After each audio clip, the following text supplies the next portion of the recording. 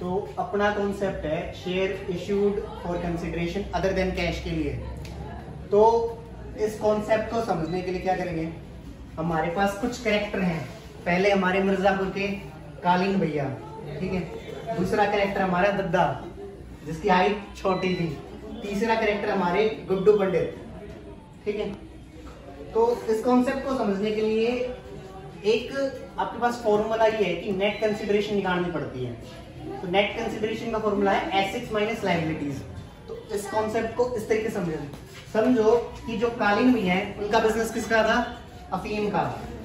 तो उनके पास सपोज़ करो अफीम है बीस हज़ार रुपए तो बीस हज़ार को हम एसेट्स कहेंगे। एसेट्स का मतलब ये उनके पास स्टॉक है। और जो दद्दा है ना, दद्दा उनके क्रेडिटर हैं, वो उनके रुपए मांगते हैं दस हज़ार रुपए। ठीक है? तो इस वैल्यू इस बिज़नेस की नेट कंसिडरेशन कितनी हुई दस हज़ार। ठीक है? तो एक दिन गुड्डू पंडित आए उन्होंने कहा कालीन भैया से मैं आपका बिज़नेस खरीदना चाहता हूँ ये। तो किस तरीके से खरीदेंगे? ठीक है? तो फिर वहाँ पर इन्वॉल्वमेंट होता है मुन्ना लिमिटेड जो कंपनी है मुन्ना भैया का। तो उन्होंने गुड्डू पंडित को कहा हमारा यहाँ क्या है? जलवा। जलवे के कारण अगर तेरे को बिज़नेस खरीदना है ना तो इस बिज़नेस के तू तीस हज़ार रुपये दे दिए जो बीस हज़ार रुपये फालतू ले रहा हूँ, मैं किस चीज़ के ले रहा हूँ वो?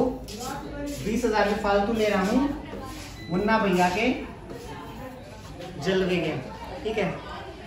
बट सीज़न टू में हमने क्या बढ़ा था कि मुन्ना भैया, अनिश तो क्या हुआ?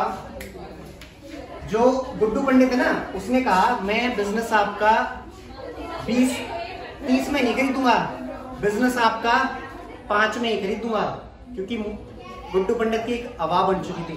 तो जो पाँच हज़ार, जो दस हज़ार का बिज़नेस है, वो कितने में खरीदेगा? पाँच में।